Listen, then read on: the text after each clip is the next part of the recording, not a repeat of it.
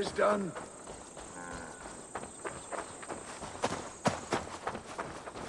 If only Rose were here. Having trouble, farmer. Rose?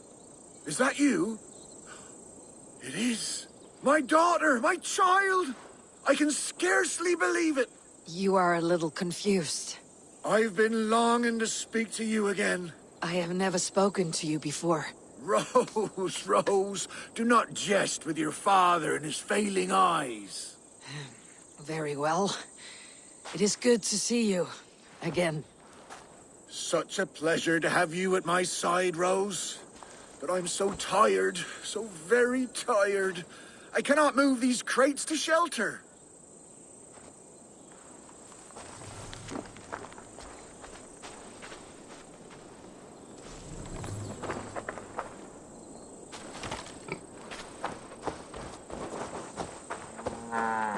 Yes, Rose, right there. You were always very clever, child. Put the others there as well.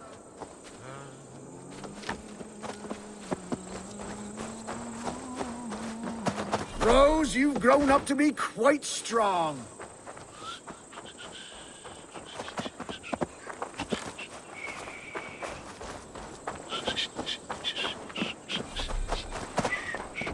That's the last of them. Come join me, Rose. It's been ages since we had a chat.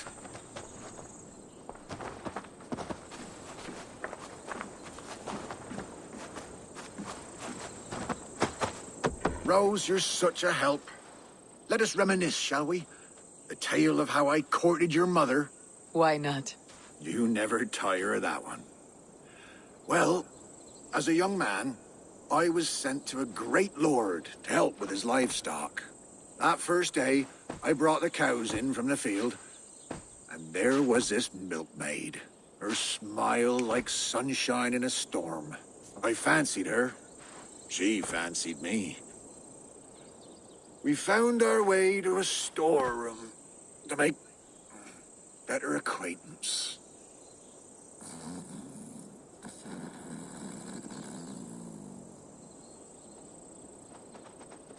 And then? What? Oh, uh, yes, uh, what, what was I saying? Ah, your mother and I in the storeroom. yes. uh, Well, the Lord wandered in and caught us making merry.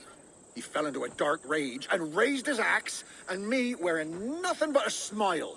Your mother had a quick wit. Why, master, she said, this boy can fetch you more milk than you'd ever have use for. Well, the Lord liked his milk, so says he, Bring me this milk, and perhaps I'll show mercy. We threw in our smocks and ran for the cow pen. Milked the cows in a frenzy and carried back two buckets. The Lord spooned off some cream to taste. Satisfied, he had his servant set the milk in the shade and declared more. In a thrice, master, your mother said, and we ran outside. How will we get more? I asked. The cows are spent.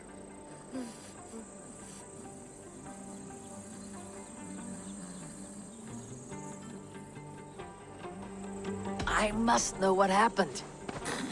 Yes? Oh. the cows are spent. Your mother bade me not to be a ninny. She led me in a circle back to the buckets in the shade. We'll bring him these again, and call them new. So we brought the master the same milk again.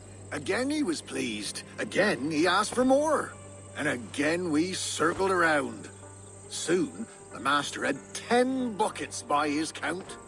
So he gave us his blessing. We ran for the stables, stole a horse, and never looked back. Not long after you were born, the pinkest little babe a father could hope for. We named you Rose, after the cow. That reminds me, your mother's ring. She wanted you to have it. Here.